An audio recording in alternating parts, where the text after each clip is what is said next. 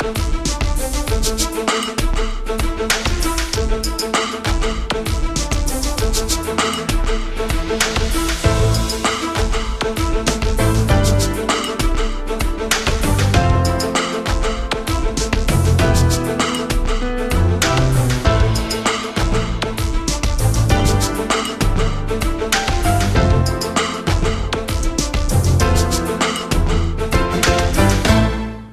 The question I'm answering today is how can lead meditation to world peace? The reason why I'm often asked this question is because we often in our temple speak about meditation as the ultimate means to attain world peace, to accomplish world peace. Or sometimes we put it in the phrase uh, world peace through inner peace. Now, why is this, how is this possible? Is this something mystical, like everyone just sits down and closes his eyes and suddenly the world will be perfectly beautiful and, and, and nothing, no war will exist in the world?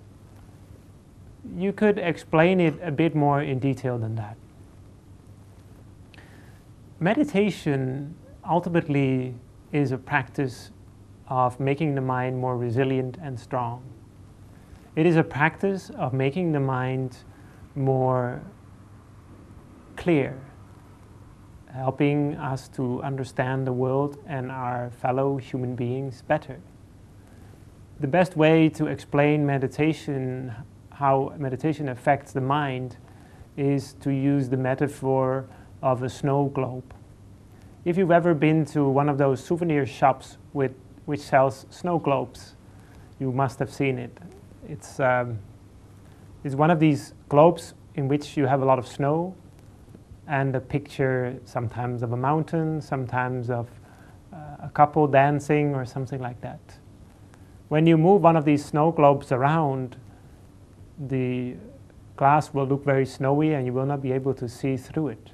You will not be able to see what the image within the glass, within the globe, what it shows. But once we put the globe down, we can see what the image is like.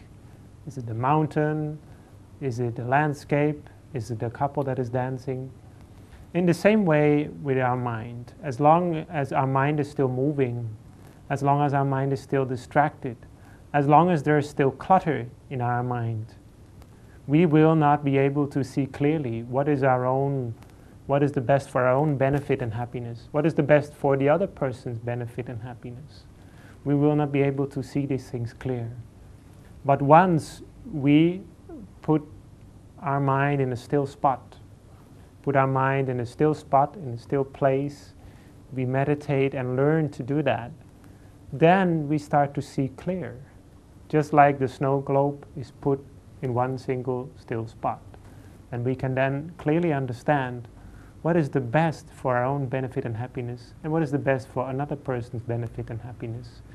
And we will realize that happiness and suffering does not so much depend on external circumstances like a good economy, like uh, having a lot of oil, or having a lot of uh, uh, other factors that are external.